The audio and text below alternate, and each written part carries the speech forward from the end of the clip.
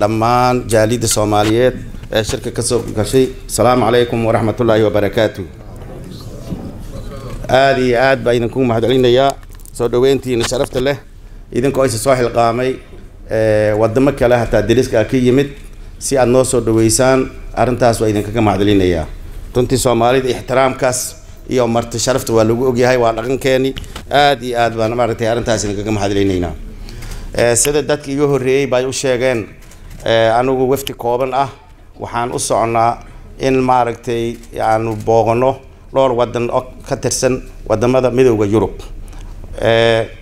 Runtii waad ogtihiin midooda yurub burburka markii nagu dhacay abaaraha iyo dhibaatooyinka markay dhaceen wadamadii ugu maaragtay dadaalka badnaa bay ka mid ahaayeen. Si arday soomaaliya loo badbaadiyo yacni dhinac kastaba nagama seexinin xaqiiqdii. Marka adduunyada bani aadanka qofkii ku abaalo ku wanaajiyo adna inaad wanaajida looga lagaaga baahan yahay. Waxaa ka mid ah wanaag ay sameeyeen joogitaanka sharafta aad ugu nooshihiin magaalada haddaan joognaa ka mid ah. Waayo haddii yacni magaaladan ammaan ahayn oo laidinku soo dhaweynin oo dadkii deegaankan iska lahaa dalkan iska lahaa yacni idin ogolaanin ayaga oo garwaaqsan dhibaatid idin keentay yacni bani aadanada qadarina haddii ayaga na soo dhaweynin maanta anaguna martiqaadkan sharaftaan ma heli lahayn idinkuna deganaanshahan ma heli lahayn. Marka taas arrimaha bani aadanimada dadka ixtiraamkaas noo sameeyay horta abaal aynagu leeyihiin ogaada walaalayaal midda kale anagu socodka anagu wuxuu ku saabsan yahay waxaan casuumad ka helnay guddoomiyaha baarlamaanka dowladda netherland isla shalayna waan la kulannay si diirin oo aad aada u qiimo badan ay noo soo dhaweeyeen yacni xildhibaanadooda guddoomiyahooda hogaaminahayo marka barnaamijkii aan ula soconay oo aan ka wada hadalnayna si fiican oo diirin yaan maaragtay barnaamijyadaas u soo dhaweeyeen waxayna diyaar u yihiin in maaragtay labada baarlamaan mase guud ahaan dalkeeni wixii ay awoodaan inay nala qabtaan. Waad ogtihiin baarlamaanka soomaaliyeed sanadkan la soo dhisay wuxuu u badan yahay dhalinyaro aqoon leh laakiin waa ay arrimada ka yar tahay marka waxyaalo badan inay nagu caawiyaan maadaama dalkeeni hadda u guurahayo dowladnimo dimuqraadi ah oo degan aan rabno inaan gaarno yacni wixii aqoon ahaan nagu kordhinayaan inay nala wadaagaan iyo barnaamijyo badan oo maaragtay dowladnimadeena khuseeyo yaan ugu nimid si diirin ay noo soo dhaweeyeen runtii waa ugu mahadcelinaynaa. Waxaan kala rabaa inaan u mahadceliyo. Maayarka magaalada asiga oo dalka ka maqan si aan isaga oo na sharfaayo annagii idinkaba asiga oo koonfurta kuuriya joogo meesha warkiis ka soo duubay si dhiid wanaagiis noo muujiyo asigan runtii mahad gaar aan u soo jeedinaya. Walaalayaal waxaad ogtihiin dalkeeni asiga oo soddon sano burbur ku jiro madba tallaaba madba tallaaba la qaadayay madba tallaaba la qaadahayay hadda dalkii wuxuu taagan yahay yacni waxaan horta ilaahay naga badbaadiyo aan ka soo gudubnay dagaaladii sokeey oo qabaliga ahaa la isu dilaayay soomaaliya waa ka baxday. Dhammaantood shacabkeena waxay diyaar u yihiin inay nabad ku wada nooladaan walaaltinimo iyo ixtiraam iskula joogaan dowlad noqdaan iyo shacabka diyaar u yihiin laakiin caqabad kale hortaagan. Caqabadaas maxay tahay? Dhallinyaradan la sheegayo magacaas la baxday oo maaragtay feker ayaga ka imaanin oo dibadaha laga soo hawlay dad khubro ah oo u badan yacni dad dad dalkooda amba dimbi ka soo galay amba aaminsan mabaadii aada u qaldan. Ayaga oo ka baan sheegahayo diinta islaamka maadaama la ogaaday soomaaliya inay diinta islaamka aada u jeceshahay oo lagu khiyaameyn karo magaca diimad markii loo sheego waa falsafad dibadda laga soo alifay oo dhallinyaradan loo dhiibay dhaqaaleyar aan badnayn dadkii baaqamuundadaha looga faa'iidaystay oo maskaxdooda dadkii lagu bedelay oo aabbaha iyo hooyada iyo walaalaha kulli inaad disho yaad janno ku galaysaa saas yaa la yidhi ayagana ogolaadeen waay horta wax meesha ka jira. Waa runtii arrin aada u foolxun oo maaragtay dalkeena dhibaato badan gaarsiisay. Waxaad ogtihiin abaarta hadda la sheegahayo abaar waa jirtaa. Weligeedna abaar waa la soo mari jiray. Abaarta waxaa caawiyey xurriye la'aanta dadkii oo aan shaqaysan karin ma ganacsan karaan. Xorriyad uma ganacsadaan. Beerahooda toos uma fashaan. Beerta lacag keena la leeyahay beertii oo abaara beer markay aaranto in hataa wax la weydiiyey baalaleyd waa iska dhiibi lahayd. Beertii oo abaara oon la hadda la abuuraya jiilala la leeyahay marka abuuraysa lacag keen hoolihiyaa laga qaadanayaa ilmahoodiyaa la leeyahay keena. Hoolaha taa waa lasla dhaafay waxaa la leeyahay ilmahaaga waxaad keenay saddex wiil mid qabteed ahaa milaba keenaysa mid halad keenaysa la leeyahay yacni dadkii waxaa maaragtay u kulmay abaartii iyo colaadaas oo yacni weligeed wax soomaali soomali ahayn dhaqanka meesha dalka ka jiro. Marka dadkii waxay isku soo shubteen magaalooyinka inay wada yimaadaan gaajo iyo ammaan xumo yay ka soo wada carareen. Lama gaarsin karo magaalooyinkii gargaarka caalamkana siiyey lama lama gaarsin karo. Kulli jididka ka xidhan gobollada koonfureed oo dhan siday u badan yihiin. Laga soo bilaabo gaalkaci wixii koonfur ka soo xiga waxay u badan yihiin magaalooyin waa jiraan oo fiican oo laakiin waa jiraan. Laakiin waxaad arkaysaa gobol kasta amba qiiba laga haysta qiib yaraa laga haysta ama qiib badanaa laga haysta gobolka keliya oo hal tuulan laga haynin waa gobolka jubbada dhexe. Inta kale qiibna dowladda ka degan qiibna ma aragtay shabaaba ka haysta. Gobolka jubbada dhexe la dhihi jiray ii shacabkiisa waa la isla iloobay. Meesha nimanka kuma hor dhigteen oo yacni shacabkii waxay ku sugan yihiin cid oo ka warqabta ma jirto. Horta dalkii waxaasaa ka jira marka abaartaas waxaa loo baahan yahay walaalayaal runtii jaalidaha soomaaliyeed oo bannaanada jira waxyaalo badan badan yay shacabka tareen.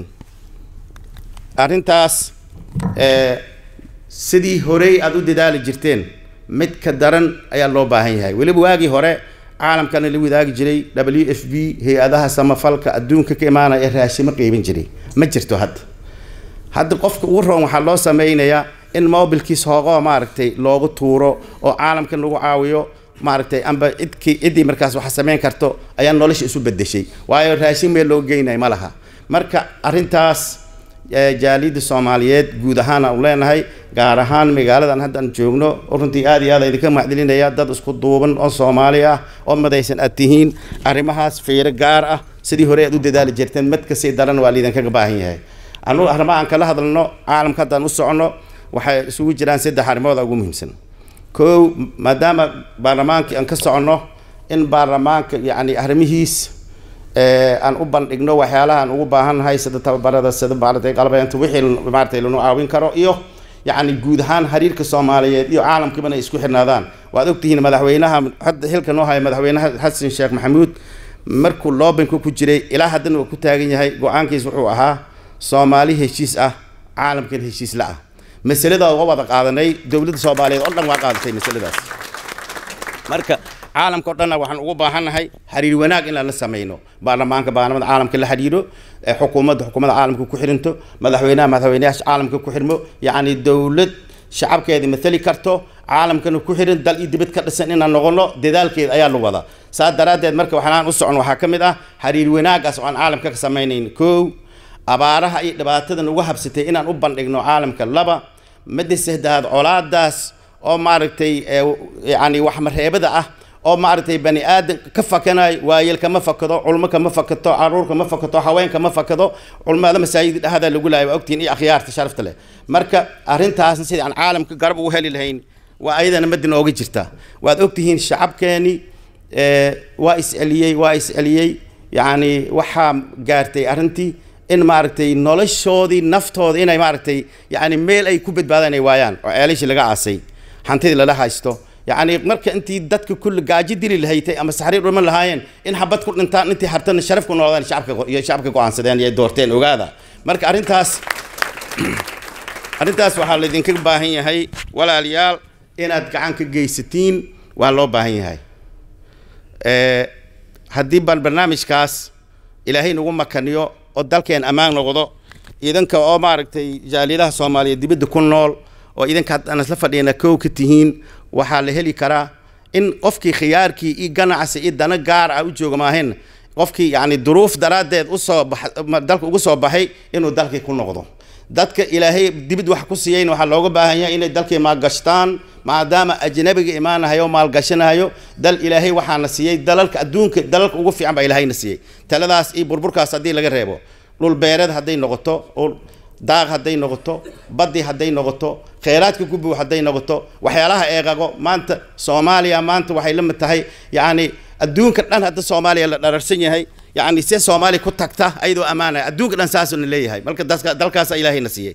Marka dalkaas waxaan ugu laaban karnaa inaan ammaan ka dhigno argagixisada maaragtay dalka dadka dhuunta qabatay inaan ka saarno.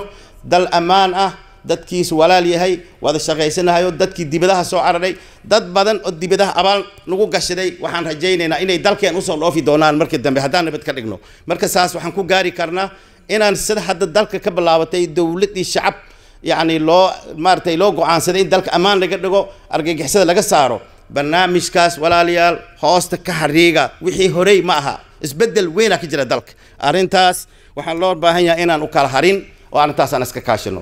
Taas horta maaragtay waa idinku dhiirigelinaya meel kastoo aan tagno oo waddamada aan marayno jaalidaha joogana saas aan uga hadli karna. Qofkaan tagin oo maaragtay naftiis meesha aadin waxaa looga baahan yahay inuu qiibtiis ka qaato. Laba qofoodoo dhaaway haddaad daaweyso haddii hal qof oo furuntada jiro oo reerkiis gaajaysan yahay aad hoogoo u dirto maaragtay ilmihii u reebto. Gargaarka la sheegaya waa intaas. Marka taas haddaan samayno wax weyn bayna taraysaa. Marka walaalayaal idankoo aad iyo aad u mahadsan arrimahaan u socno saddexdaas arrimooda ugu muhiimsan iyo midda kale oo muhiimka ah jaaliyadaha soomaaliyeed oo aan la kulmayno inaan iswacyigelino isxasuusino. Waayo idinka dhan waad ogtihiin laakiin maadaama maaragtay sheeko un idaacado iyo dad qaraaba la waraystay aad ku helaysiin. Baraatikadii mas'uuliyiddii dadkaas u taagnaa oo meel kasta cabashadii soo gaaraysaan nahay xaqiiqdii waxaan idin sheegayaa dalkeeni maanta u baahan yahay in dib loo xoreeyo in maaragtay dowladnimadeeni maaragtay yacni ay noqoto dowlad mus mustaqir ah oo istaagda loo ageeda u istaagta. Waxaad ogaanaysiin soomaalida. Haddaa xildhibaankii horaan ka hadlaya xildhibaan ardo waxaan idin sheegayaa dowladnimada. Sharafteedii waxaa arkay dadki sidiina oo kale ah dalalkan degan oo xeerkan gaaray dadkii yimid yacni faa'iido weyn bay arkeen. Arrintaas waxaad waxay maaragtay daliil u tahay waad ogtihiin dadkii weligii magaalo baadiis ka joogay oo nolol caadi a meelaha iskaga joogay waxyaalaha qaarkooda ma ogaa. Marka adiga oo safar ah hadda basaboor ajnabata idinka oo wata.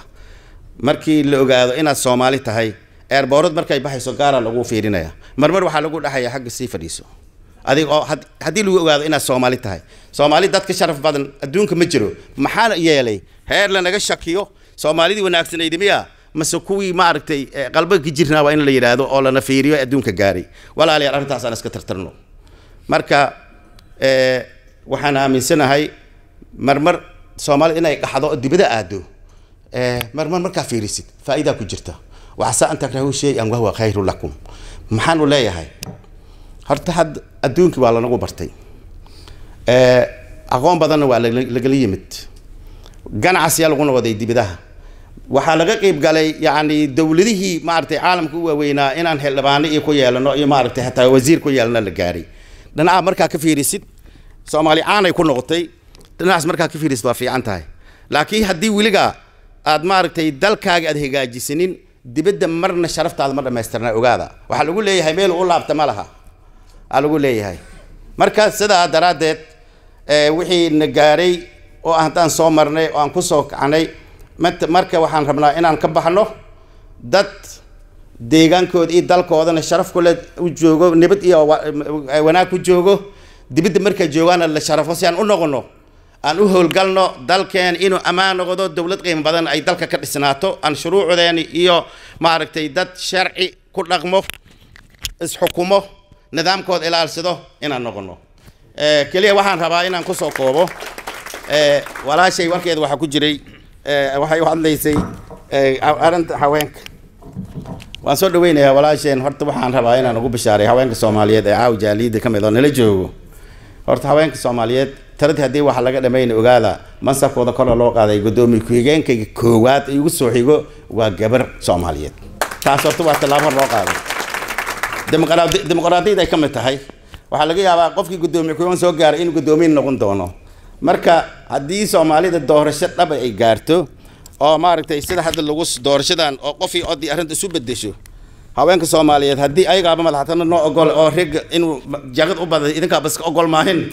Haddii noo tashataan idinkaa madaxweyne noo noqonayo waaba naga badantihiin marka marka walaalayaal taasna hadduu ilaah yidhaahdo haweenka waan qadarinaynaa wax allaal wixii shareecadeena islaamka ka hor imaanaynin maaragtay qof diidi kara ma jiro dastuurka noo qoran waxaa ku qoran wax allaal wixii shareecada islaamka ka hor imaanayo yacni waxa waxba kama jiraan. Laakiin dastuurka sidiisi dadka oo kuwan baadida ah oo islaamna shago kula haynay oo masaajid dadka ku laayo ee waxay yidhahdaan dastuura la sameeyey waa gaalo dastuura la sameeyey. Waa beentoodii dastuurka waa maamul idaari waay. Shareecada waxaa mabda-iyana laga raacaa laakiin maamulka sida loo sameynahayo dastuura lagu qoraa rasuulkan salawaatullahi wasalaamu aleyh dastuuru sameeyey madiine markuu yimid.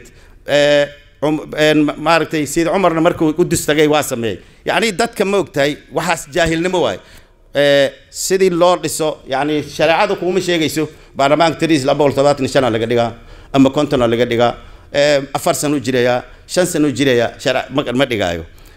Keliya wuxuu ku leeyahay isdoorta inaan la qasbin dadka khiyaarkooda wax ku doortaan diinta saasay ku faraysaa. Marka haweenka ixtiraamka ugu badan islaamkaas yahay xaqiiqdii. Yacni bani aadam haddii la sharfo yaa diinteena sharfaysaa. Marka hadda gudoomiye baarlamaan gudoomiye ku-xigeenka maraynaa hadda. Yacni soomaalida ma ogtahay qaar aaday xigmad aaday ugu dheerayaan qaar baa la weydiiyey maxaa haweenka ugu soo dari weyseen waxay leeyihiin soomaalida ma ogtahay? Dhaqan carbeed ay gabdhihii yaab ogolayn saasuu isku difaacay. Laakiin hadda waxaan ogaanay gabdhaha gabdhaha ma diidin mas'uuliyadda waa rabaan waa aragnay. Waa soo dhaweynaynaa. Insha allahu aad iyo aad aad umahadsantihiin maadaama laga yaabo anugu inaan si deg dega u safarno fariinta caawaan idin sheegayno kuma koobna jaaliyadda holland joogta keliya jaaliyadda soomaaliyeed oo dalka dibadiis jirta oo dhan yaan fariintan yaan u fareeyaa walaalayaal dalkii aad shalay dhibaatada ugu soo baxdeen dhinaca dowladnimada meeshii waa laga fiican yahay shacabka meeshii waa ka ilbaxsan yahay waa ka muwaafaq badan yahay waa ka heshiis badan yahay argagixisa qabsatay dalkii. Taas oo dowlad iyo shacab in loola dagaalamo rabo. Abaaraa ugu darsantay labadaas gacan ka geysta dhammaantiin isgaarsiiya insha allah waddankeenaas ugu imaan doonaa aad iyo aad aad u mahadsantihiin wassalaamu calaykum waraxmatullahi wabarakaatuh